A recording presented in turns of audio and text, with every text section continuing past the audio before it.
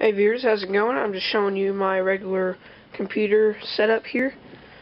This is my um, Compaq, which you might not know what that is, but compact uh, desktop computer. You see here, I have this one on the floor. Then I have my keyboard. This is a win well, right here this is Windows 7, but on this hard drive, this is right here. This is Windows Vista. Older, I haven't upgraded that yet. But here is Windows 7, and I'm running the VGA cord to my Dell Inspiron 17R. As you see here, anything that happens here happens on here. It's just a regular, um, regular VGA cord. This blue thing right here plugs into the back. Then I have my speakers that run, here my speakers on the screen.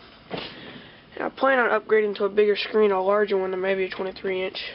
But otherwise, this is my computer setup. This Dell Inspiron 17R.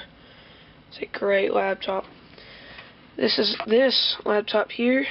This whole hard drive setup here is faster than this.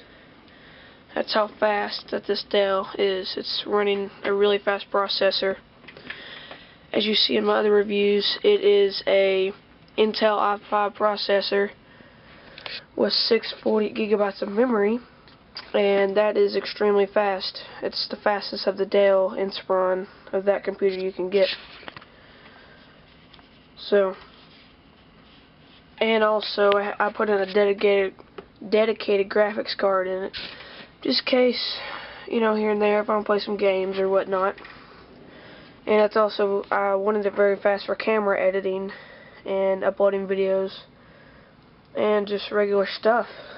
I mean, overall, it is very nice. So, this is where I do all my editing and computer stuff. This is what it looks like. I got um, my computer here, Google Chrome, iTunes, Avast, you always want Avast or McAfee or something like that, uh, protection.